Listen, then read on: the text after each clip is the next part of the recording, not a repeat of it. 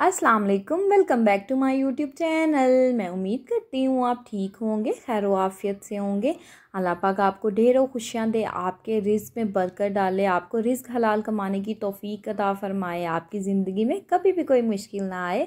यहाँ पर जी आज मैं बहुत सी मुनफरद रेसिपी आपका लेकर आई हूँ, आपके लिए लेकर आई हूँ, जो कि है यखनी पुलाव, बीफ यखनी पुलाव, और ईद का जैसे दिन गुजरे हैं ना, आपने गोश्त तो फ्रीज़र में ज़रूर रखा होगा। तो आज ये यखनी पुलाव बनाएँ और अपने घर वालों के साथ इसको इंजॉय करें। यहाँ पर जी बिस्मिल्लाहिर्रहमानिर्रहीम, अल्लाह पाक के बाबरकत नाम से करते हैं स्टार्ट। अपनी रेसिपी को यहाँ एक किलो मैंने लिए हैं चावल। और चावल देखें, मेरे ना सुपर जो कायनात के चावल हैं ना, वो चावल हैं जो कि बहुत अच्छे बनकर तैयार होते हैं। तो ये दो ग्लास मैंने चावलों के लिए, एक किलो चावल हैं और जो आधा किलो का ये ग्लास है, दो ग्लास मैयर करके मैंने चावल लिए। आप किसी भी चीज़ के साथ मैयर कर सकते हैं। एक किलो चावल है, दो ग्लास जो चावलों के बनते हैं। तो यहाँ पर जी अब मैंने ले लिया गोश्त। तकरीबन ये एक किलो गोश्त होगा और ये जो इसके अंदर हड्डी है ना, ये अलहदा से है एक किलो से, क्योंकि इसका सिर्फ़ हमने ना जूस जो है ना, वो यखनी जो है वो निकालनी है। तो यहाँ पर जी, अब मैं पाँच गिलास जो इसमें पानी के डाल रही हूँ, क्योंकि तीन गिलास हमें यखनी के चाहिए, क्योंकि दो गिलास हमारे चावलों के हैं, एक गिलास जो हम ऊपर उसके पानी का डालेंगे तीन ग्लास मैं इसलिए डाल रही हूँ क्योंकि हमने जो है ना वो चावलों को एक घंटा पहले भिगोना है इसलिए तीन ग्लास डालेंगे। यहाँ पर जी मैंने पाँच ग्लास पानी के डाले, एक चम्मच मैंने सौंफ का डाला है, एक चम्मच सूखे धनिए का डाला है। यखनी की ये जान होते हैं, जिसके साथ बहुत अच्छा फ्लेवर आता है। यहाँ पर एक बादन का फूल डाला है, दो जो है मैंने दारचीनी के टुकड़े डाले हैं, सात से आठ मैंने दाने जो हैं वो काली मिर्च के डाले हैं, एक चम्मच नमक का डाला है तीन से चार अदद मैंने डाली है लौंग, जिसके साथ बहुत अच्छी खुशबू आती है। एक चम्मच नमक का डाला है, मज़ीद नमक जो है हम ऐड करेंगे जब हम चावलों का मसाला बनाएँगे। एक साबुत मैंने लहसन डाला है, एक साबुत मैंने प्याज डाला है। इसके साथ बहुत अच्छा फ्लेवर आ जाएगा आपकी यखनी के अंदर।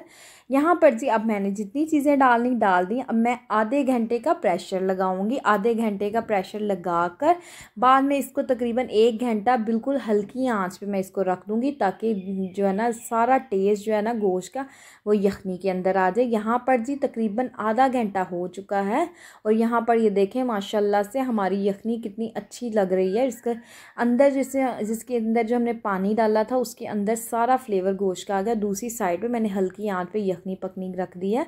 यहाँ पर जी मैंने पतीला ले लिया। इसके अंदर मैं थोड़ा सा ऑयल डालूँगी। ऑयल मैं इसलिए कम डाल रही हूँ क्योंकि हमारी यखनी के अंदर ऑलरेडी बहुत ऑयल है। क्योंकि जो ईद का गोश्त होता है, उसके साथ फ़ैट बहुत ज़्यादा होती है और उसका ऑयल जो है ना, वो खुद ब खुद रिड्यूस हो जाता है। तो वो ऑयल है। यहाँ पर मैंने चार अदद प्याज लिए हैं क्योंकि जो पुलाव होता है ना, उसमें प्याज जो है ना ही डलते हैं तो प्याज मस्ट हमने डालने और ज़्यादा डालने हैं। तो चार अदद मैंने प्याज लिए हैं, इनका कलर यहाँ पर माशाल्लाह से देखें, चेंज हो चुका है। पुलाव के अंदर हमने इसका जो है ना, प्याज का कलर इतना ही रखना है, बहुत डार्क नहीं करना। यहाँ पर मैंने छः अदद हरी मिर्च ली है और एक चम्मच भर के मैंने लिया है अदरक का, आधा चम्मच मैंने लहसन का है। टोटल मिला के डेढ़ चम्मच लहसन अदरक का, छः चम्मच, छः जो मैंने हरी मिर्च ली थी, उसको अदरक लहसन के साथ ही मैंने अच्छे से पीस लिया था। कुंडी डंडे के अंदर ही मैंने पीस लिया था, कोई मैंने ब्लेंडर का यूज़ नहीं किया, कोई चॉपर का। अब यहाँ पर इसकी भुनाई माशाल्लाह से हमने अच्छे से करेंगे। तो जब इसकी अच्छे से भुनाई हो जाएगी तो दूसरी चीज़ें ऐड करेंगे। यहाँ पर थोड़ा सा पानी ऐड किया है। तो ये देखें आपके सामने मैंने थोड़ा सा पानी डाला है। अब यहाँ पर हम इसके अंदर जो जो चीज़ें ऐड करनी वन बाय वन करके ऐड करेंगे। एक चम्मच डाला है सूखे धनिए के पाउडर का। तो आपने एक चम्मच से ज़्यादा डाल सकते हैं। एक चम्मच मैंने लिया है ज़ीरे का। इसके साथ बहुत अच्छी खुशबू आती है और पुलाव के अंदर मस्ट ऐड किया जाता है। थोड़ा सा सूखा धनिया डाला है इसके अंदर मैंने। तो ताकि जब हम पुलाव खाएँ तो उसके अंदर ना सूखे धनिए का और ज़्यादा टेस्ट आए और टेस्ट जो है ना ज़्यादा इन्हेंस हो जाता है। अब यहाँ पर मैंने एक चम्मच का चौथा हिस्सा कुटी हुई लाल मिर्च का डाला है। आप स्पाइसी खाना पसंद करते हैं तो आप अपने टेस्ट के अकॉर्डिंग मिर्च डालिएगा। एक चम्मच मैंने पहले डाला था, एक चम्मच मैं फिर डाल रही हूँ। दो किलो जो है ना रेसिपी हमारी एक किलो गोश्त है, एक किलो चावल है तो दो चम्मच भर के जो है इनफ है आपके नमक के। कम या ज़्यादा आप अपने टेस्ट के अकॉर्डिंग कर सकते हैं। आधा कप मैंने मैंने दही का डाला है, इसमें टमाटर नहीं डलते। दही जो है मैंने ना काफ़ी खट्टी दही ली है, क्योंकि इसके अंदर जो है ना सारा दही का ही टेस्ट आना है। ना हमने टमाटर डालने ना हमने इमली, आलू बुखारा कुछ भी नहीं डालना। और दही हमने ज़रूर खट्टी ही लेनी है। बस यही हमने इसके अंदर स्पाइसेस डालने, और कोई हमने इसके अंदर स्पाइस ऐड नहीं करना। तो यहाँ पर ढक्कन मैंने लगा दिया, इसकी भुनाई यहाँ पर हम करेंगे अच्छे तरीके से। ये देखें, यहाँ पर पानी ड्राई हो चुका है। चम्मच की मदद से इसको अच्छे से हम करेंगे मिक्स और ये देखें, माशाल्लाह से हमारा मसाला बनकर हो गया है तैयार। पुलाव जितना सिंपल होता है ना, उतना ही मज़े का बनकर तैयार होता है। अब यहाँ पर मैंने गोश्त डाल दिया है, जो बड़ी एक हड्डी मैंने डाली थी, उसको मैंने निकाल दिया। उसके साथ से जो भी गोश्त था मैंने उतार लिया और उसको मैंने जो है ना साइड पर रख दिया, क्योंकि उसकी हमने यखनी ही निकालनी थी। यखनी हमारी निकल चुकी है। तो अब यहाँ पर देखें, इसकी अच्छे से हम कर रहे हैं बुनाई। इसको थोड़ा मिक्स करेंगे, इसकी बुनाई करेंगे। अब यहाँ पर हम इसके अंदर पानी डाल देंगे सॉरी यखनी डाल देंगे जो हमने बनाई है। तो यखनी हमारी माशाल्लाह से पूरी तीन गिलास ही बाकी बची थी। अब यहाँ पर मैंने तेज़ पत्ता डाला है। तीन अदद मैंने लाल मिर्च खुश्क वाली डाली हैं। उसकी अच्छे, बहुत अच्छी लगती हैं। जब पुलाव बनता है ना, उसमें कुछ रेड रेड से ये मिर्चें बहुत अच्छी लगती हैं।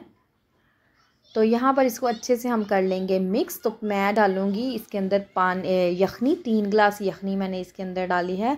पाँच गिलास मैंने टोटल रखी थी और पक पक के तीन गिलास जो है ना वो रह चुकी है और हमें तीन गिलास ही चाहिए थे। दो गिलास हमारे चावलों के थे और तीन गिलास पानी के इसलिए डाले। मैंने एक घंटा पहले चावल भिगोए थे। अगर आप लेट चावल भिगो रहे हैं तो आप थोड़ा सा पानी ज़्यादा कर सकते हैं। ढक्कन मैंने लगा दिया अब इसके ऊपर। अब हमारा पानी माशाला से देखें बॉयल हो चुका है। यखनी सॉरी तो अब यहाँ पर हम जो है ना चावल ऐड कर देंगे। ये देखें कितने ज़्यादा भीगे हुए हमारे चावल हैं। तो तकरीबन एक घंटा से भी ज़्यादा ये भीगे हैं। अगर आप कम टाइम में भिगो रहे हैं तो आप पानी का ज़रूर ज़्यादा ऐड कर लीजिएगा। कम आपने पानी नहीं डालना। अगर आपने भी एक घंटे से ज़्यादा भिगोए हैं तो आप तीन गिलास जो है ना यखनी के डालिएगा। अगर आप नॉर्मली चावल बना रहे हैं ना तो तो भी आपने इस तरीके से ही चावल बनाने हैं। तो अगर ज़्यादा देर आपने चावल भिगोए तो पानी कम डालें। अगर आपने जो है थोड़ी देर कम चावल भी गोया तो पानी थोड़ा सा ज़्यादा कर दें। अब यहाँ पर जी हम ढक्कन को हटाएँगे और देखेंगे हमारे चावल कहाँ तक पहुँच चुके हैं। तो यहाँ पर माशाल्लाह से देखें, हमारे चावल अच्छे से जो कुक हो रहे हैं, पानी इनका थोड़ा सा रह गया है, इस पानी को मज़ीद हम ड्राई करेंगे। पानी मैंने बिल्कुल परफेक्ट डाला है, कोई जो है ना, लोग कहते हैं हमारे चावल जो जुड़े जुड़े बनते हैं, ऐसा क्यों होता है? मोस्टली लोग जो है ना, वो पुलाव वगैरह अगर बनाए ना तो वो गोश्त की वजह से मतलब उनका पुलाव जो वो कहते हैं हमारे नरम नरम चावल बनते हैं। ये परफेक्ट मेरी रेसिपी है, आपने इस रेसिपी को परफेक्ट फॉलो, तरीके से फ़ॉलो करना है, बहुत अच्छी आपकी रेसिपी बनकर तैयार होगी। अब यहाँ पर जी पानी बिल्कुल ड्राई हो चुका है। अब हम इसको दम लगा देंगे। तकरीबन दस मिनट का हम दम लगाएँगे। नीचे मैं इसके मोटा तवा रख दूँगी। आप चाहें तो वैसे ही दम लगा लें। मैंने नीचे मोटा तवा रख दिया। अब रुमाल जो है ना, ढक्कन के ऊपर कवर करके दम लगाया। यहाँ पर दस दम हो चुका है। दस मिनट हमारे गुजर चुके हैं और माशाल्लाह से मेरे अल्लाह की शान। और ये देखें, माशाल्लाह से हमारे चावल बनकर हो चुके हैं तैयार। और एक एक दाना देखें, कितना खिला खिला सा बनकर तैयार हुआ है। बहुत कम टाइम में ये रेसिपी बन जाती है। अगर आपके घर में मेहमान आने हैं तो आप यखनी पहले बना कर रख लें और जब मेहमान आए तो फ़ौरी आप मसाला भूनें और चावलों को भिगो लें और मसाला भूनें और साथ ही आपका पुलाव बनकर रेडी हो जाएगा। हाँ ये बहुत झटपट बन जाता है अगर आपने यखनी पहले बना कर रखी है। अगर आपने पुलाव बनाना है, आप यखनी को रख दें, बाकी साइड पर अपने दूसरे काम कर लें, आपकी यखनी भी पक जाएगी और आपके दूसरे काम भी हो जाएँगी। तो यहाँ पर माशाल्लाह से पुलाव हमारा रेडी हो चुका है। अब हम इसको सर्व करेंगे। तो ये बहुत ही जो है ना, मज़े का बनकर तैयार हुआ था। हरी मिर्च का बहुत अच्छा फ्लेवर इसके अंदर आ रहा था। कुटी हुई लाल मिर्च का भी टेस्ट बहुत अच्छा आ रहा था। तो इसके अंदर और ज़्यादा स्पाइसेस ऐड नहीं होते। पुलाव जो होता है ना, जो पुलाव, जो अथेंटिक जो पुलाव की रेसिपी है, वो सेम यही रेसिपी है।